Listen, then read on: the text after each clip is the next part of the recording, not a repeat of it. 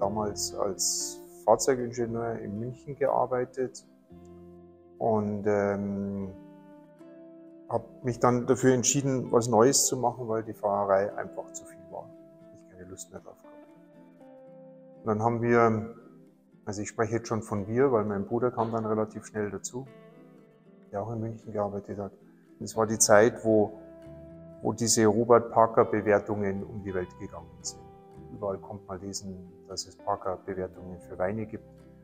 Und es hat mich so fasziniert, dass ich gesagt habe, da könnte man versuchen, ein Business draus zu machen, also in den Weinhandel einsteigen. Das haben wir dann gemacht, 1993. Ein paar Wochen später ist mein Bruder dazugekommen und so ist Unge Weine entstanden.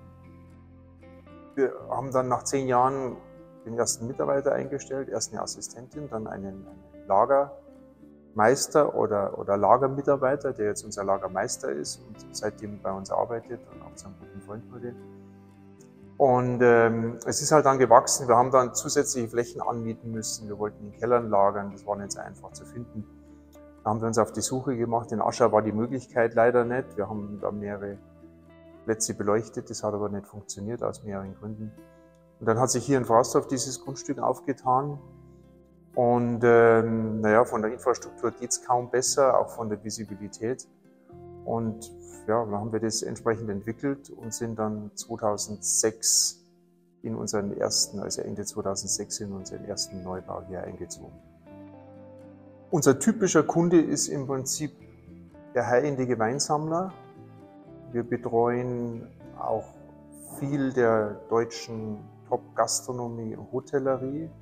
Wir kooperieren äh, mit, mit Private äh, Yacht Charter Firmen. Wir verkaufen an, äh, an große ja, Kreuzfahrtschiffgesellschaften.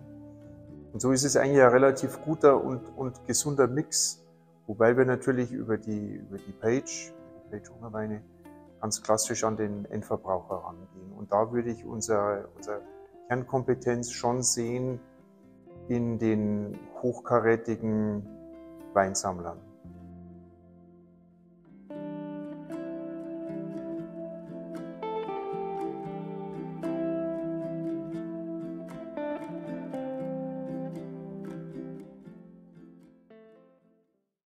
Thank